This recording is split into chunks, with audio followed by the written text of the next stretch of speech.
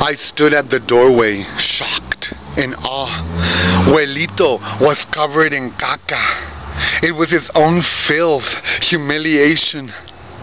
A fall from a building on fire in Piedras Negras, in the middle of the town. The firefighting volunteer climbing to go save a life. Instead, he fell down, messing his neck. He could not talk. He would just grumble.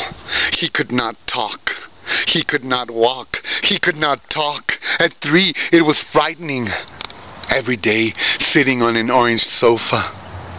A sofa purchased by my grandpa's youngest son, my tío Alonso, living in another town, Corpus Christi, Texas, where Selena is from.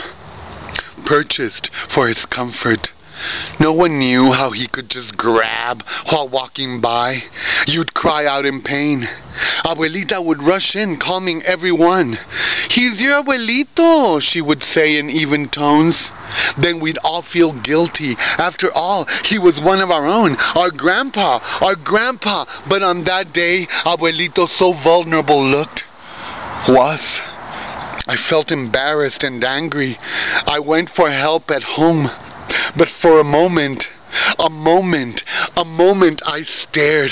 Oh, Grandpa, Abuelito, so helpless. So helpless I felt. I knew then I loved you. Something so powerful inside my gut. Abuelito.